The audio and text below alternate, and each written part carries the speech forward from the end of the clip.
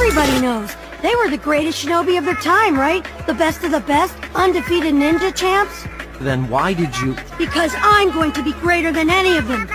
Me, Naruto, the next Hokage, a ninja legend! Then everyone will have to stop disrespecting me and look up to me!